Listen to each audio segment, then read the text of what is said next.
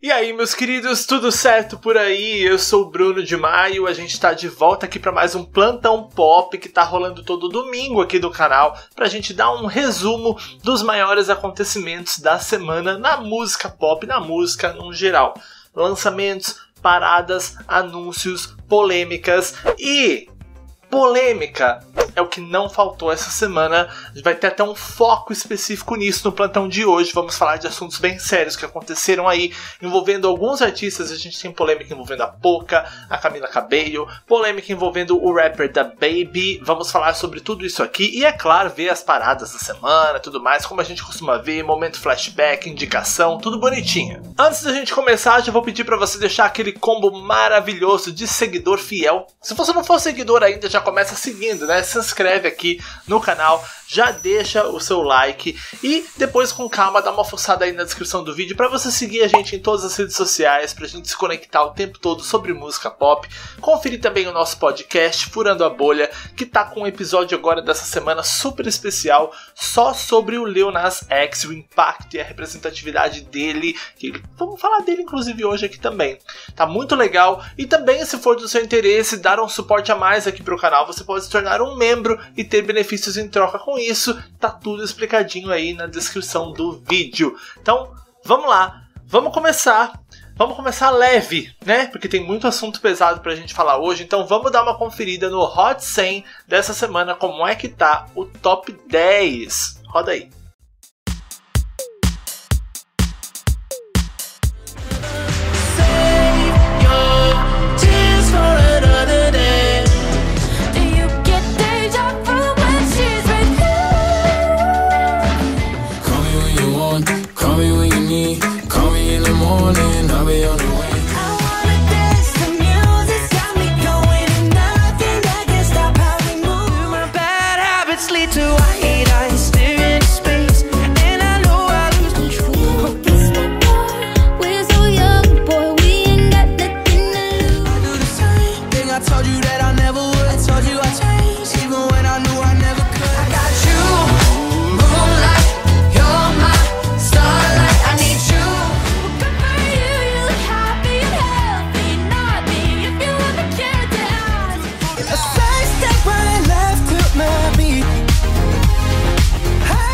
Olha, gente, vocês vão vendo, a gente já tá na nossa 22 segunda edição do Plantão. Vocês sabem que Hot 100, o top 10, não tem muita mudança toda semana drástica. Essa semana não tem nenhuma entrada nova no top 10. A mudança mais notável ali, a gente tem Permission to Dance, que estava em primeiro lugar do BTS semana passada, caiu para sétimo lugar. E Butter, que estava em sétimo lugar, voltou para o número 1. Inclusive, esse troca-troca do BTS fez deles aí os primeiros da história a substituírem a sua própria música do número 1 por duas semanas seguidas. Nunca ninguém tinha feito isso antes. E por curiosidade, como a gente vê só o top 10 aqui, né? Uma estreia que tava todo mundo curioso para saber foi a Normani com Wild Side, participação da Cardi B. Elas conseguiram emplacar aí um top 15. A música debutou direto na 14ª posição. Vamos conferir agora a parada oficial do UK, o UK Charts. Vamos ver como é que tá o top 10 dessa semana por lá. Roda aí.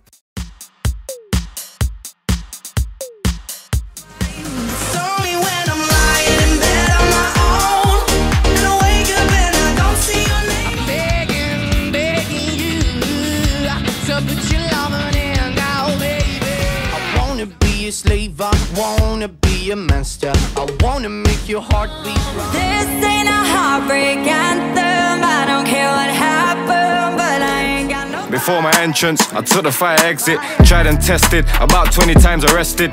Two times guilty, no comment. Black, black magic. You work your voodoo on me. Black, black magic. I'm in Hollywood Hills with a white Rolls Royce and a one brown in from Compton. The Lambo park just in front, man. Pull up to the. I told you that I never would. I told you I changed, even when I knew I never could. He's got a new vest, man. Pop that showed no microphone. I'll ride for bro. He's next to I like. My bad habits lead to white eyes staring space. Olha, lá no UK, o topo segue intacto com Bad Habits do Ed Sheeran. Ninguém tira ele do número 1. Um. E temos aqui uma novidade essa semana que é a dominação do rapper Dave. O cara tá com simplesmente três músicas dentro do top 6. A gente já tinha semana passada aí a parceria dele com o Stormzy no top 10 e agora duas músicas novas aí dentro do top 10. Então o cara tá dominando por lá. Little Mix continua no top 10 com Heartbreak Anthem, parceria com David Guetta e Galantis, e isso trouxe um novo recorde para elas. Elas se tornaram o primeiro grupo feminino da história a passar 100 semanas dentro do top 10 da parada oficial do UK. Girl Power! E tem gente que ainda diz que elas são flopadas, vai entender, né? Bom, conferimos as paradas da semana, agora vamos dar continuidade aqui falando um pouquinho sobre Lady Gaga. Olha, gente, um tempo atrás o pessoal, a fanbase ficou bem chateada, né, com o abandono da era cromática, que quase não teve divulgação, principalmente porque ela foi pra Itália gravar um novo filme. Era um misto de sensações, né, que a gente tava feliz pela gravação do filme, mas triste né, pela era tão curta que foi cromática. Agora o filme está oficialmente anunciado, então estamos prontos para exaltar essa era para valer, de vez agora, sem distrações, né? Como a gente já sabe, o filme se chama House of Gucci e ele conta a história do assassinato do Maurizio Gucci, que foi o neto do fundador da Gucci, né, uma das marcas mais famosas de toda a história. A Lady Gaga faz o papel da Patrizia Reggiani e ela finalmente vai poder fazer jus ao fato dela ter a descendência italiana, que ela faz questão de falar para todo mundo, né? I'm Italian. Well, I'm Italian. I'm Italian, so I'm just an Italian girl. I'm an Italian girl. I'm Italian. E a Patrizia, que é o papel da Gaga, ela foi acusada e condenada pelo assassinato do Maurizio. Então, chegou com tudo agora, nós temos trailer ao som de Heart of Glass do Blonde, clássico, super dramático, intenso, com vários momentos da Gaga já. Nós temos posters oficiais aí com todo o elenco principal e a data de estreia. O filme chega no dia 24 de novembro, somente nos cinemas, nada de plataformas digitais para esse filme, pelo menos não na estreia. Então, já vamos ficar ligado aí. Será que até lá a gente já pode ir no cinema tranquilo? Vamos torcer, né? E que seja mais um filme de sucesso para Mother Monster. Father, Son and House of Gucci.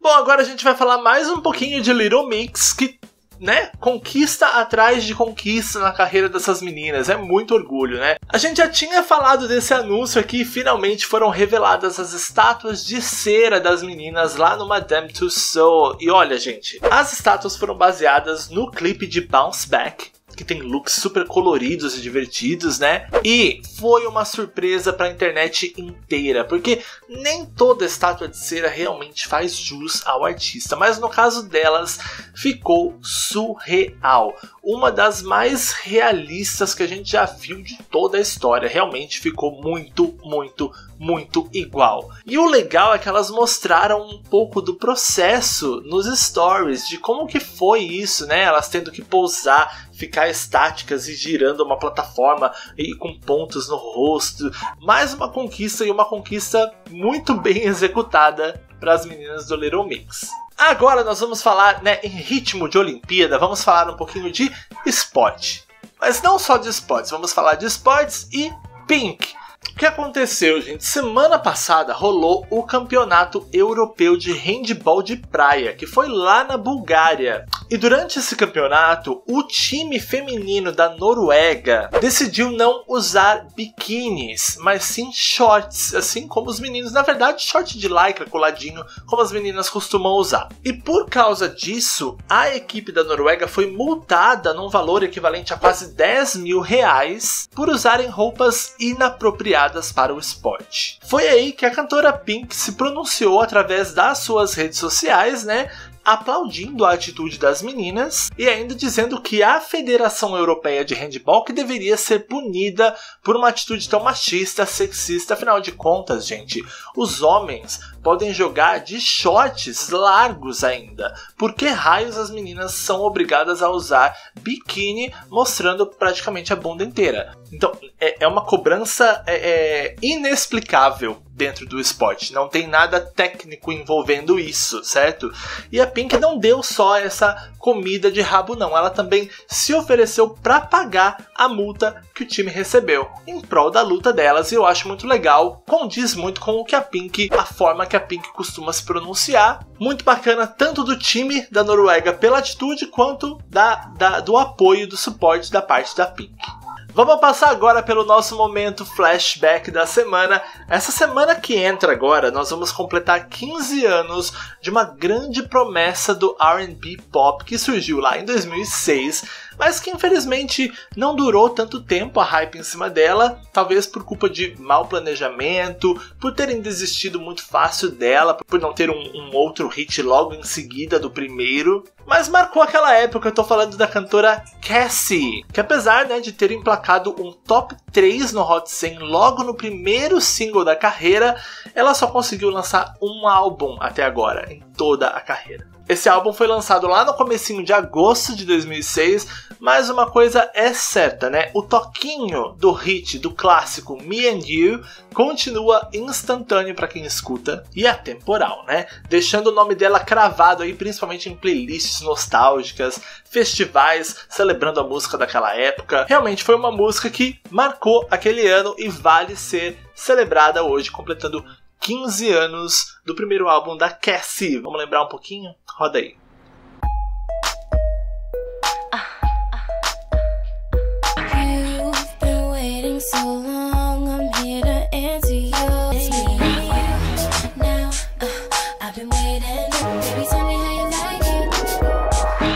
Bom, eu disse aqui que nós falamos sobre ele no nosso podcast essa semana. Eu, Mari Pacheco, Amanda Faia, com participação aí do Ismael Carvalho e do rapper Irã.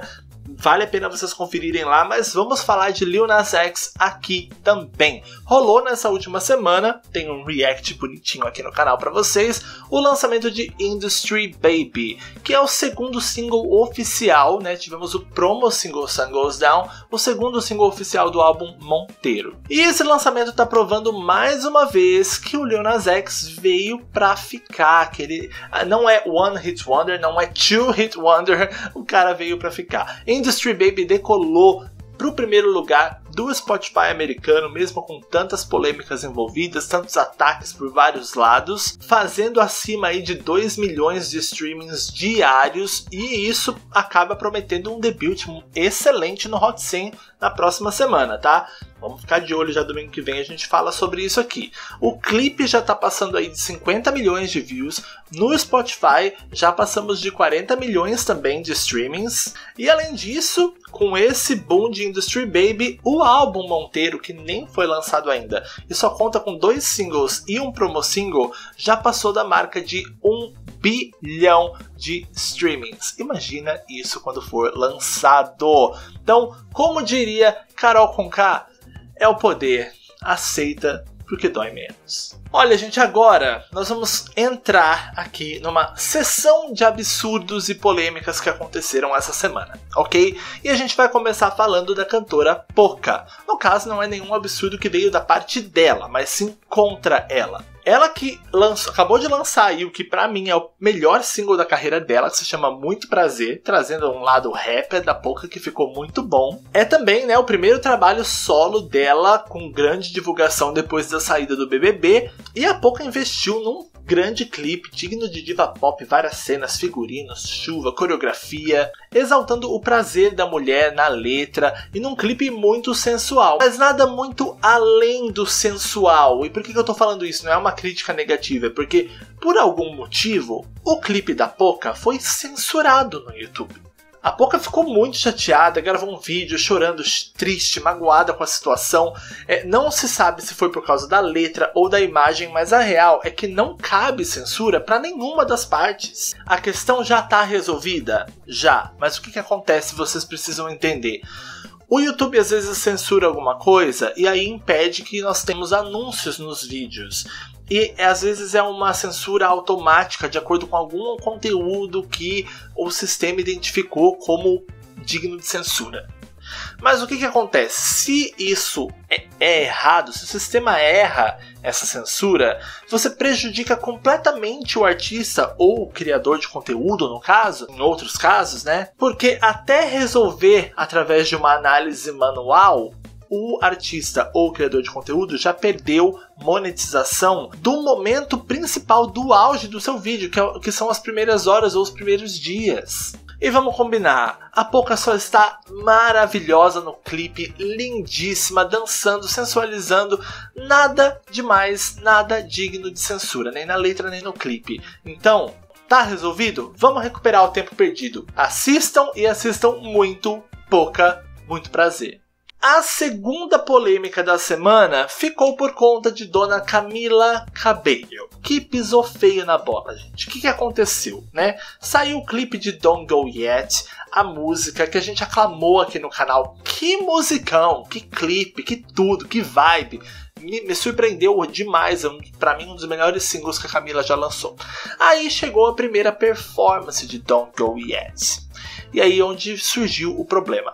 Na performance, a Camila tentou trazer é, diferentes personagens dos anos 80, né? É, personagens literalmente estereotipados, exagerados, dramáticos e tal. É, e aí, um desses personagens seria um homem branco com um spray de bronzeamento artificial alaranjado exagerado, que realmente acontecia muito na época, certo? Só que na performance, com, com a maquiagem, a iluminação e tudo mais, a ideia, o que pareceu, era um homem fazendo blackface. Essa foi a crítica pesada em cima dela por toda a internet. A Camila, na hora de explicar e se justificar, ao invés dela pedir desculpas, ela explicou que não, o que eu quis fazer foi um homem estereotipado branco com um spray artificial alaranjado.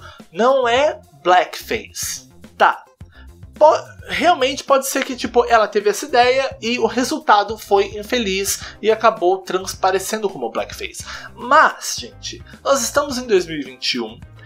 Se fala sobre blackface há uns bons anos já. Camila é jovem, tem acesso a essas informações tranquilamente, sabe-se que é errado, então por que raios mexer na cor da pele de alguém em 2021 numa performance televisionada para o mundo inteiro, você sendo uma pessoa pública. E que já tem histórico de problemas envolvendo racismo. Não, foi uma pisada na bola muito grande. E que não teve um, um pronunciamento decente tanto que se fala de blackface, ela não, não, conseguiu pensar que isso poderia, né, não se sair bem, não, não, não ser bem traduzido na tela e tudo mais, ou ninguém da equipe do time, toque, a equipe por trás, ninguém, ninguém pensou que seria uma má ideia. Então assim, gente, intencionado ou não, Camila deu uma bola fora e a gente tem que admitir. Agora, o maior escândalo da semana ficou por conta do rapper da Baby, que nós do mundo pop conhecemos mais, né, por causa de remixes que ele participou, como Levitating da Dua Lipa, Girl from Rio da, da Anitta, que não fez barulho, mas existiu, né? É, mas o, ele é um nome muito forte no rap americano desde o ano passado ou retrasado, tá? É, e ele simplesmente deu um show de preconceito e intencional, literal e direto, explícito, na cara, descarado. Sem papas na língua, sem direito de uma interpretação diferente, né? Ou de dizer que foi mal intencionado, mal interpretado. O que rolou foi que durante o set do The Baby no festival Rolling Loud em Miami, o rapper pediu que as pessoas ligassem a luz do celular e colocassem a luz para cima, como vários artistas fazem. Porém, não era todo mundo que podia levantar o celular, tá? Só podia levantar o celular quem? É, palavras do rapper, que eu vou diminuir um pouco a linguagem aqui pra gente não ser censurado também, né? Quem não veio para o show com AIDS ou qualquer outra doença sexualmente transmitível que vai te matar em três semanas. 2. Se você é mulher e sua vagina cheira a água. 3. Se você é homem e não tá praticando sexo oral em outro homem no estacionamento. um horror, né? Um, em, em, poucos segundos o cara conseguiu ser homofóbico, machista, sexista, sorofóbico. Um horror. Só que não para por aí, né? Depois disso, ele ainda trouxe pro palco o Tory Lanez, um rapper americano que até aí tudo bem, ah, chamou outro rapper pro palco, mas o Tory Lanez foi recentemente acusado de ter atirado na Megan Thee Stallion, e a Megan, ela tava lá no evento e ela tinha se apresentado naquele mesmo palco. Inclusive, parte do público achou uma falta de respeito e tacou até objetos na cabeça do Da Baby durante o show. Então foi mais um ponto de insensibilidade aí no mesmo set, no mesmo show. É claro que a internet se revoltou. Ah, essa situação tomou grandes proporções, é, virou manchete em vários jornais e tudo mais. E o rapper, na hora de se posicionar a respeito, de de repente esclarecer qualquer coisa, apesar de, como eu disse, ser algo muito literal, ele só piorou as coisas, né? Ele disse, por exemplo, que aceita os gays, mas que até os fãs gays dele não têm AIDS porque eles não são pervertidos. A gente vai entrar a fundo nesse assunto aqui no finalzinho, fica aqui, tá? O rapper ainda lançou um clipe onde no final ele usa e teve a audácia de usar as cores da bandeira LGBTQIA+, com a frase Me desculpem por eu ser eu mesmo, da mesma forma que vocês querem a liberdade de serem quem são. Ou seja, ele está dizendo que se eu quero a liberdade de ser quem eu sou, de ser gay, de ser aceito como eu nasci, ele tem que ter a liberdade de ser preconceituoso e homofóbico. Porque é a mesma coisa e tem o mesmo peso. Olha o raciocínio da pessoa. E para piorar, o rapper T.I., um dos rappers mais famosos dos Estados Unidos, foi de acordo com esse pensamento dele. Ele falou assim: "Ué, se vocês querem, se vocês podem, deixem ele ser quem ele é também". É é inexplicável como uma pessoa não tem um, um pingo de raciocínio lógico para entender a diferença. Daqui a pouco vai surgir uma pessoa aí falando assim: Ué, mas a pessoa pode ser gay eu não posso ser assassino? É, só tá faltando isso, né? No discurso das pessoas que usam essa, essa lógica cabimento. É claro que artistas que já trabalharam com ele se posicionaram rapidamente repudiando as atitudes, as falas do rapper. Como a gente já mencionou, as principais que trabalharam com ele, Dua Lipa e Anitta, se manifestaram é, a favor, estando do lado da comunidade LGBTQIA+, e repudiando tudo que ele disse. Algumas pessoas acharam que isso ia passar batido porque o público do The Baby é um público que boa parte pode ter um pensamento parecido, né? Só que ele já perdeu alguns eventos, patrocínios aí, o principal deles que rolou hoje foi o show do Lollapalooza cancelado pelos organizadores do evento que emitiram uma nota dizendo que é o Lollapalooza é um evento baseado, criado através da diversidade, do respeito e do amor. E eles não, não toleram esse tipo de atitude no palco deles. Além disso, a nossa rainha do pop Madonna fez testão dando uma aula pro rapaz sobre questões envolvendo HIV que realmente são muito sérias e é aí que a gente, tipo, pra gente finalizar esse show de horrores, a gente precisa falar um pouquinho sobre essa questão aqui, pra gente lembrar e enfatizar que o HIV não é um vírus exclusivo da comunidade LGBTQIA+, nunca foi, e com a descoberta do status a tempo, né, hoje o tratamento te dá uma vida normal e longa como qualquer outra pessoa. Hoje, pessoas com tratamento em dia, bonitinho, elas se tornam indetectáveis e não transmitem o vírus. Além, é claro, de que existem outras formas de se contaminar além do sexo, o que é algo divulgado há muitos anos e não há desculpa para falta dessa informação na sua vida. Por isso, gente, é muito importante se testar. Eu faço teste todo ano. Tem várias opções para você fazer teste hoje, gratuitas, até na farmácia você pode comprar um teste. Mas não deixem de testar e saber o seu status, ok? O, o perigo está em não saber, em adiar, em ter medo e de repente ser soro positivo há anos sem se tratar. É aí que está o perigo. E são discursos como esses do rapper da Baby que colaboram para que esse medo permaneça vivo na sociedade, para que as pessoas continuem a ter medo desse tabu de como vão olhar para ele e não se testarem e aí sim ficarem doentes. Nesse caso, mais do que qualquer coisa, a ignorância mata. Então leiam sobre, se interessem sobre, mesmo que você ache que nunca vai acontecer com você. Leia por você e leia pelos outros, pelos próximos, pelo mundo. É, é, importante que a gente se eduque sobre essas questões para que discursos como esse do rapper da Baby um dia sejam insignificantes para a causa. No momento que, que a segurança, a informação e a educação combinadas serão maiores do que discursos que possam espalhar medo e ignorância, tá bom?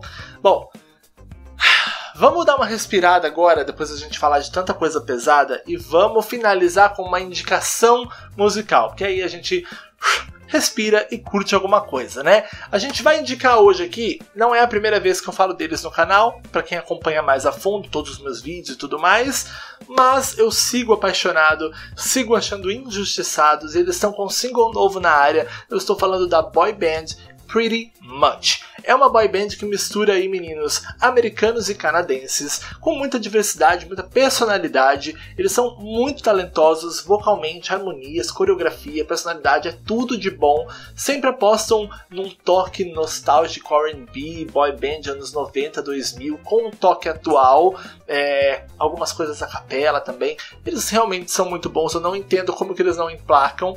Os últimos singles eu tava achando que estavam indo muito pro trap, mas agora com o novo single Trust, pra mim é a essência deles, é o que eu gosto, é o que eu amo.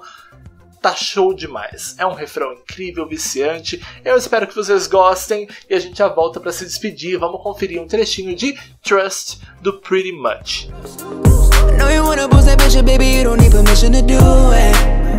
coming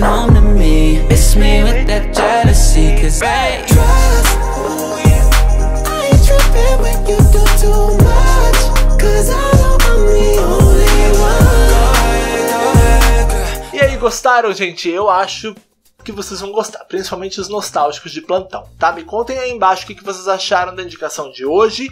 E vamos lá, vamos se despedir. Espero que vocês tenham gostado. Eu quero aí saber o que vocês acharam dos rolês que a gente comentou aqui no plantão de hoje. Então desce aí no comentário, manda ver e já aproveita. Se você não fez isso ainda, já deixa seu like, se inscreve aqui no canal se você não for inscrito ainda, o que é, uma, é um absurdo, eu acho, tá? Só dizendo. E não esquece de me seguir nas redes sociais, hein? Pra gente conversar o dia todo, tá bom? Então é isso, gente. Obrigado por terem assistido.